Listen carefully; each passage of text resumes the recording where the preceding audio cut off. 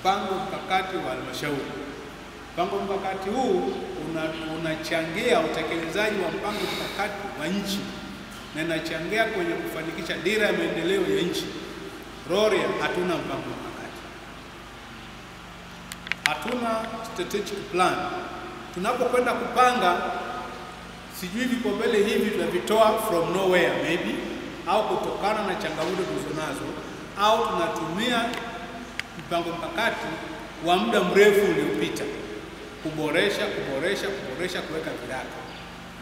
Na hii ndio maana tunapofika wakati wa kuchagua vipaumbele vya mwaka huu, tunaanza kugusa maeneo kulingana na mahitaji ya sasa, lakini tulitakiwa tuwe na mpango mkakati wa miaka mitano, na kila mwaka tumeainisha tutafanya nini, na kile ambacho tunajikomiti kufanya kwa mwaka husika lazima kitimie, na kama akikutimia, tufanye mapitio ya mpango mkakati, yapi tulipanga ya kufanyika na yapi sasa hayawezi kufanyika kabisa, tuweze kufanya amendment ya mkakati wetu, tusogeze mbele kwa ajili ya kuleta wananchi wa Rorya maendeleo.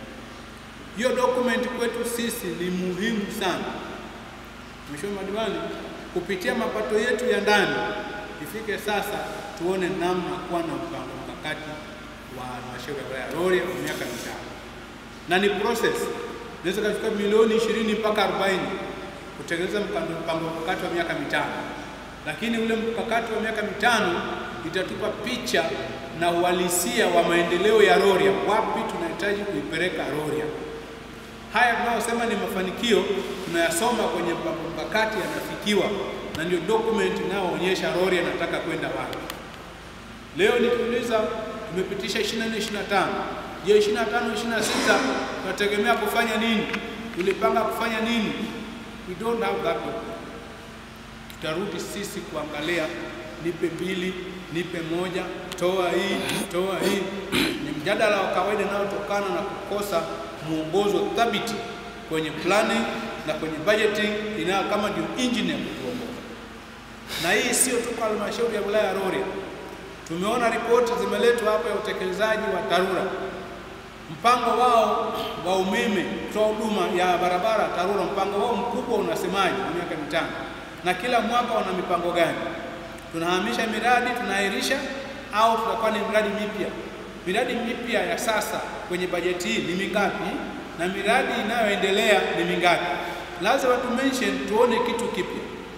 Tunaweza tukapitisha bajeti ya kuendeleza miradi na hakuna miradi mipya inayoingia. Hali kadhalika halmashauri ya wilaya ya tumejikomiti kukusanya bilioni mbili nukta mbili. Wakati mwaka huu kuna bilioni moja nukta tano. Tumeongeza milioni mia saba. Hizi milioni mia saba tutazitoa wapi? Tuna vyanzo vipya?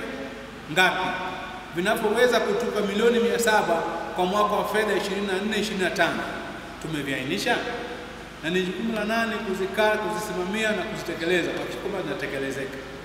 Kwa hiyo tuna deni, ni commitment yenye deni. Ukipitia kabrasha, kuna vyanzo vipya vitatu ambavyo vimeainishwa pale, lakini pia kuna vyanzo vingi vilivyoboreshwa. Vyanzo vitatu vilivyoainishwa havizidi milioni mia moja kwa mwaka, lakini milioni mia sita tunategemea kuviona kwenye vyanzo vilivyoboreshwa. Ndio maana tumeelekeza bajeti kuboresha mialo, kukarabati mialo, kukarabati minada na kuangalia vyanzo vingine ambavyo vinazalisha sana, tuongeze post, tuongeze ukusanyaji, tuangalie ushuru wa madini ambao hatujakusanya sawa sawa, tukusanye sawa sawa, tuangalie na service levy hatujakusanya sawa sawa, unaona, tuangalie maeneo yote yanayochangia kwenye mapato yetu, mapato ya vijiji kule hawajakusanya sawa sawa, tuweke miundombinu ya kuwezesha wao kukusanya zile fedha na halmashauri ya wilaya ya Rorya tuweze kufikia 2.2 billion na tutakapofika 2.2 billion tutakuwa na faida kutoka kwenye halmashauri zinazokusanya chini ya bilioni mbili kwa mwaka, tukawa tumepanda. Tunaomba kupandishwa juu ya bilioni mbili, tuanze kuongeza kutoka kwenye ishirini kwa themanini tunaenda kupeleka kwenye arobaini kwa sitini na tunaongoza fedha kwa ajili ya maendeleo ya wananchi wetu, na hiyo ndio tukayotupelekea sisi sasa kupitia mapato ya ndani kupanga kama leo tunapanga kukusanya bilioni mbili pointi mbili, kuna miradi mingapi ya maendeleo tutatekeleza kwa mapato ya ndani kupitia ile bilioni mbili? Ukipitia vizuri, bilioni mbili pointi mbili tumepanga kwa ajili ya posho, vikao na safari, lakini miradi ya maendeleo inayotokana na 2.2 iko wapi? Yote elimu yaliyo mengi tuliyopitia inayotoka serikali. Kuna boost, kuna SEQUIP, kuna wadau. Je, ya mapato ya ndani tutafanya nini kwa mwaka wa fedha 2025 katika hizo bilioni 2.2 tutakusanya nini? Tutafanya nini kwamba hiki hapa kwa ajili ya mapato ya ndani? Tumewekeza nini? Kwa lazima tuanze kutengeneza dira. Matumizi ya mapato ya ndani ya 2.2 bilioni isiishie tu haya ambayo tumeyafanya leo. Tunategemea planning office, upo planning officers, wataalamu wetu wa budget, rudini mkahakikishe kwamba ile 2.2 bilioni tunaona alama. Lazima tujenge kitu kutokana na fedha za mapato ya ndani na tujenge kutona fedha za ruzuku kutoka miradi mbalimbali ya maendeleo. Mwisho wa siku tutasema tumekusanya 2.2, tumejenga mialo mitatu, soko masoko kadhaa tumejenga. Hapa, tumewekeza bote ngapi tumenunua, imeongeza mapato. Pale, tume, tumejenga vitu kadhaa, tumenunua gari kadhaa, imesaidia mambo ya taka hapa, tumenunua gari kadhaa kwa watu wamefungua pikipiki kadhaa. Lazima tuwaze nje ya box ili bilioni mbili pia ichangie kuleta tija na ipeleke maendeleo kwetu sisi tunaokusanya na kwa wananchi wale wanaolipa ushuru na tozo mbalimbali waone faida kutokana na zile fedha zao. Lakini kipekee, Mheshimiwa Mwenyekiti, mimi nikushukuru sana wewe na baraza lako kwa kuweza kupitisha rasimu ya bajeti kutoka ile ya mwaka jana na, ku, na, na hii ambayo iko ina, inaendelea kutumika sasa ya bilioni moja nukta tano tisa na kuipeleka mpaka bilioni mbili nukta mbili. Kwa kweli tukupongeze sana Mheshimiwa Mwenyekiti na baraza lako. Hiyo inamaanisha nini? Hii inamaanisha kwamba mmezingatia kutoa huduma kwa wananchi, kwa sababu tunapokuwa na bajeti ndogo ya, wani, ya, ya moja nukta tano tisa maana yake tunajifinya na kutoa huduma kwa wananchi wetu. Tunaporuhusu na kujipanga vizuri kwa kuruhusu bajeti sasa ya halmashauri yetu kuwa bilioni mbili nukta mbili maana yake tunakwenda kuongeza kutoa huduma kwa wananchi wetu. Na Mheshimiwa Mwenyekiti, ninasimama hapa kama kaimu mkurugenzi, lakini kwa maana ya eneo langu la kiufundi ni mkuu wa idara ya kilimo, mifugo na uvuvi. Mimi ni washukuru sana kamati zako, hususan kamati ya uchumi na kamati ya fedha, mmekuwa mkichagiza kwa sababu mlitambua kwamba idara hii ni idara nyeti ikisaidiana na idara zingine zote, lakini hii imekuwa nyeti kwa sababu inashikilia uchumi wa Rorya kwa ile Mungu aliyotupa zawadi kwamba takribani asilimia sabini na saba nukta saba ya ukubwa wa Rorya ni ziwa. Sasa tumetumia fursa hiyo ya Mwenyezi Mungu, bahati ya Mwenyezi Mungu na kamati zako sasa zikasimamia swala hilo na mkaleta msukumo mkubwa kwenye idara hii ya kilimo, mifugo na uvuvi, kwamba eneo pekee ambalo tunaweza kuongeza nguvu ni eneo la uvuvi pamoja na mifugo.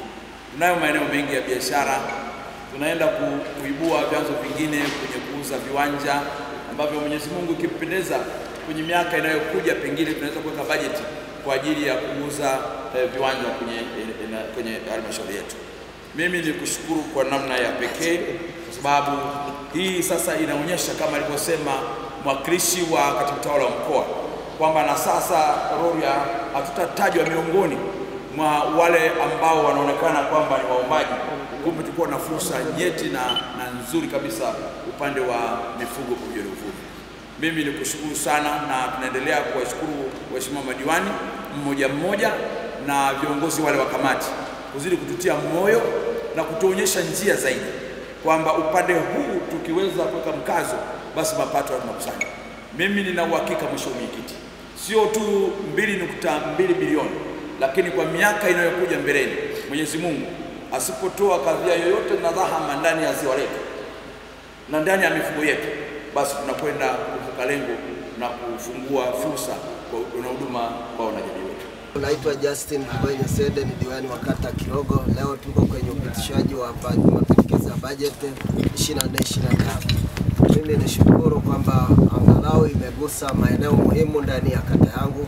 Imenigusia zahanati ya Kirogo, imegusia uh, lakini pia uh, nishukuru kwamba uh, matengenezo ya TARURA sasa pia ime, imeguswa, lakini mimi ni focus tena kwenye mapato ya ndani. Leo tumepiga hatua, tumeenda bilioni mbili pointi mbili. Sasa tunapopata fedha ya aina hiyo, basi tukumbuke uh, ma, mapato hayo ku, ku, ku, kusaidia vikundi vya akina mama, vijana pamoja na watu wenye ulemavu, lakini pia irejeshe kwa ajili ya wananchi wetu kuwasaidia katika miradi yao. Tusonge mbele, bajeti yetu imepita vizuri na tunamshukuru Mungu.